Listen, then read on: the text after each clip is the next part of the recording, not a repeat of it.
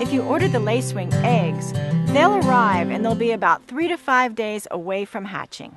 When you see these little green eggs start to turn gray, they're just about ready to hatch, and that's time to release them. Green lacewing larvae eat aphids, thrips, mealybugs, whiteflies, red spider mites, and the list goes on. A single larva can eat as many as 200 pests in one day. Again, you want to release the lacewing larva and egg either in the early morning or the cool of the evening.